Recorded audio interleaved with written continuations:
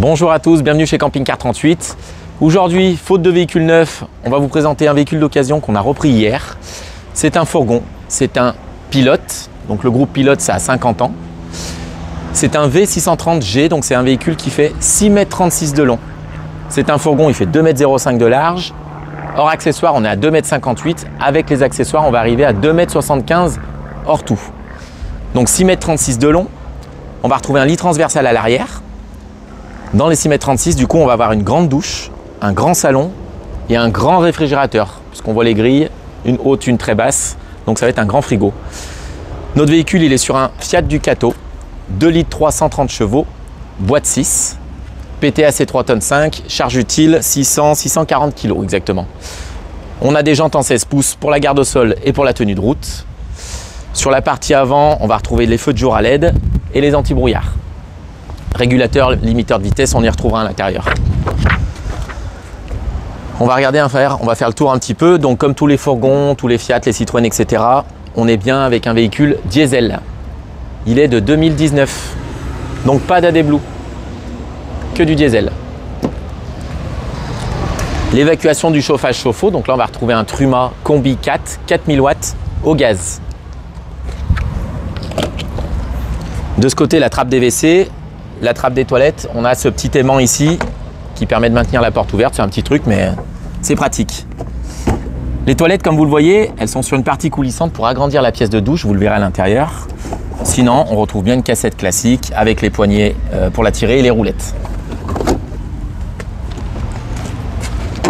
Notre branchement 220.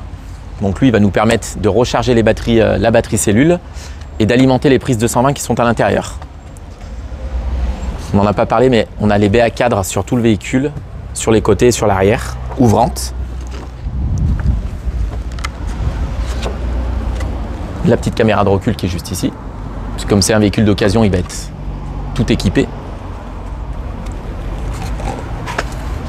De ce côté, on retrouve le remplissage d'eau propre. Il y a 110 litres d'eau propre les grilles d'aération de mon frigo, donc des grandes grilles et bien séparées, donc on va retrouver le grand frigo à l'intérieur. La vanne de vidange des eaux usées, donc c'est une vanne à guillotine, on tire pour ouvrir, on pousse pour fermer. 80 litres d'eau usée, 110 litres d'eau propre. Éclairage extérieur, store extérieur, antenne omnidirectionnelle, antenne satellite, panneau solaire, télé-écran plat. Allez, comme d'habitude, on retrouve à l'intérieur du véhicule donc un panneau de commande. Chez Pilote, dans ce fourgon, ils nous ont mis un panneau tactile. Donc tout de suite, on a les informations euh, les plus importantes, le réservoir d'eau propre, d'eau usée, la batterie, ce que je consomme, ce que je charge, mon niveau de batterie. Donc là, il me dit bien que mon panneau solaire est en train de charger.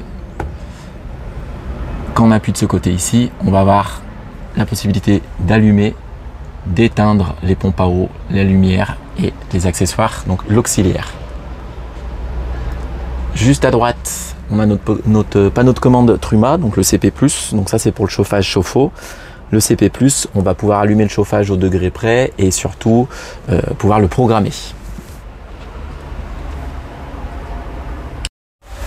Pour l'intérieur de notre fourgon, donc pilote, déjà on a une finition en simili-cuir sur tous les sièges, les banquettes, un petit habillage ici donc en paroi pour le froid, l'éclairage indirect, bien sûr c'est tout de la LED.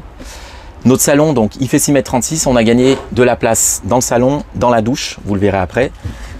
Donc, je peux me mettre vraiment tout autour de la table. 1, 2, 3, 4. Et ici, on a une petite tablette qu'on relève. On en a besoin pour faire le lit, puisqu'il y a un troisième couchage sur la table.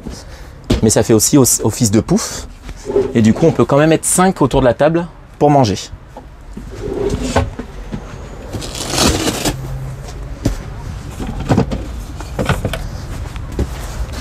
Dans la petite tablette, ils nous ont mis un petit rangement. Donc les rangements dans le fourgon, on adore, puisqu'on en manque tout le temps. Donc rangement ici, rangement en face. On a une antenne satellite automatique, donc on aura le pointeur et le démodulateur. Des petites barres pour éviter que ça tombe en roulant. Et à l'intérieur, on va retrouver deux prises USB. On n'a pas de découpe cabine à l'avant. Du coup, on se retrouve avec un rangement bien cloisonné. pour le salon, on a le grand lanterneau 700 par 500. Ici, ils ont mis un Rémis. De l'autre côté, on reste dans le salon. La télévision, comme pour les fourgons, elle est toujours au même endroit. Elle est sur un pied qu'on déplace pour orienter à l'extérieur ou sur le salon. Elle est toujours là. On est bien sûr en 4 places carte grise, des ceintures 3 points de devant et de derrière. Les dernières petites choses pour ce salon, donc bien sûr notre marche-pied électrique, la grande moustiquaire, hein, de série maintenant sur tous les véhicules. On a donc un couchage pour l'avant, donc la table elle est télescopique. On va la baisser et on va vous faire le couchage. Je vais vous montrer après. Juste ici, on va avoir une trappe de rangement, une bonne trappe de rangement. Et de ce côté, donc là, sous la banquette, c'est toute la partie chauffage chauffe-eau. Voilà, on a mis en place le couchage à l'avant, qui est pour une personne, donc un adulte. Après, deux enfants peuvent quand même s'y mettre, puisqu'on est assez large, on utilise toute la banquette. Et il n'y a pas de hauteur différente, même avec les coussins rajoutés. La mise en place, elle n'est pas trop compliquée. Hein. On a deux coussins renforcés. Notre coussin d'ici euh, pour faire le siège ou quoi. Hop. Sous la table, j'ai une poignée à manipuler pour rebloquer. Et là, je suis repassé en mode salon. L'espace nuit. Donc l'espace nuit, on a un lit qui fait 135 de large par 194 de long. On a des rangements tout autour en haut. Avec des placards cloisonnés.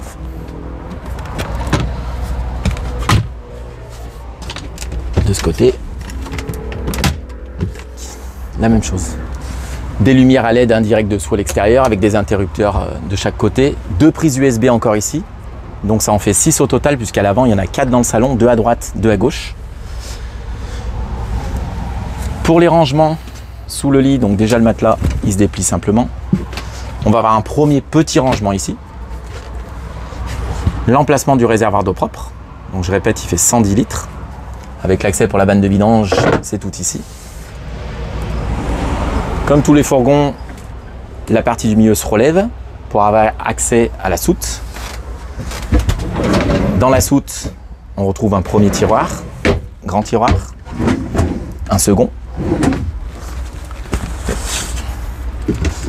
Et là, c'est toute la partie fusible, donc la partie euh, électrique. On va retrouver les fusibles de la partie cellule.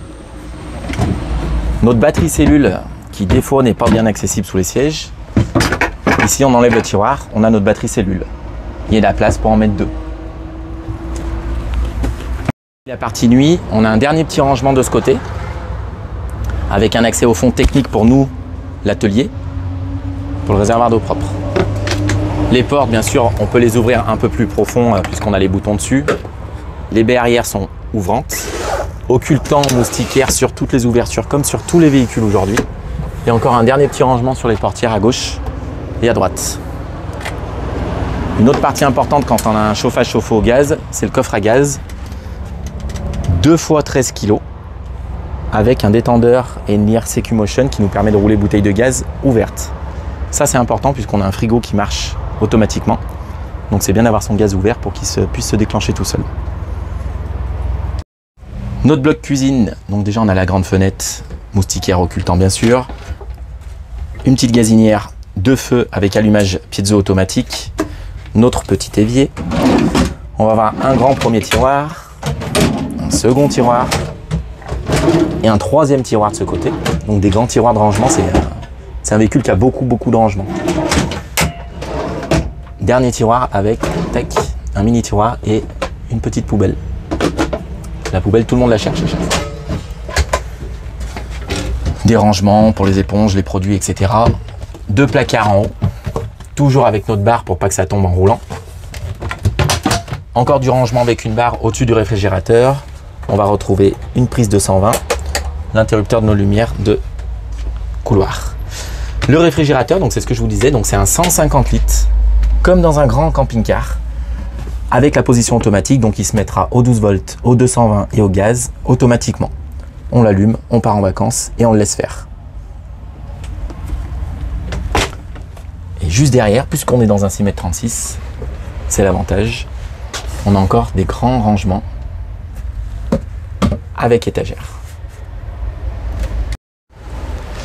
Nous allons aller voir la salle de douche. En passant par la salle de douche, la première chose qu'on retrouve, c'est une grande penderie, bien large, bien haute. On a une porte coulissante, ce qui est pratique pour éviter de bloquer le passage au milieu. La douche, donc pommeau de douche, notre petit robinet, des rangements. Sur le côté, encore un petit plage clair de rangement avec un miroir.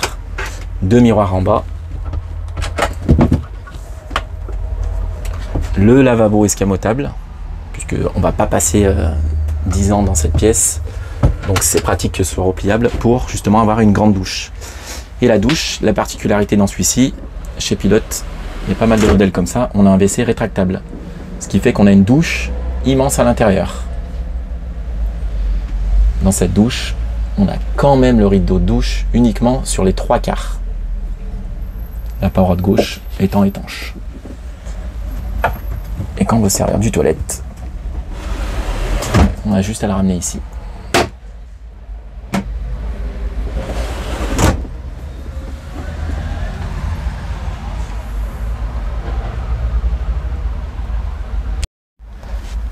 Le porteur sur ce véhicule, donc Fiat Ducato 2 litres 3, 130 chevaux, c'est une boîte manuelle à 6 vitesses.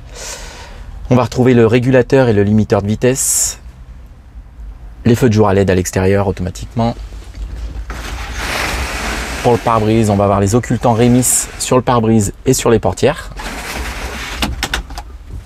On a ici un petit voyant rouge avec un petit boîtier. Ce véhicule est équipé d'une alarme volumétrique et périmétrique. Une climatisation manuelle, traction plus île descente. Donc ça, c'est les petites aides quand ça patine pour monter ou pour descendre. Une prise USB, une prise 12 volts. Comme tous les Fiat et les Citroën, la boîte à gants en haut, la boîte à gants en bas. Le petit porte-documents, porte-tablette, etc. Et ici notre écran, donc c'est un écran multimédia, donc euh, radio, Bluetooth et, euh, et caméra de recul marcheront dessus. Il est Android, donc on peut connecter nos téléphones dessus. Pas grand chose de plus, on est sur un porteur basique Fiat Ducato. Le récap pour ce véhicule d'occasion, pilote V630G, 6,36 m de long, Fiat Ducato 2 litres 330 chevaux, il est de mai 2019, il a 16 000 km.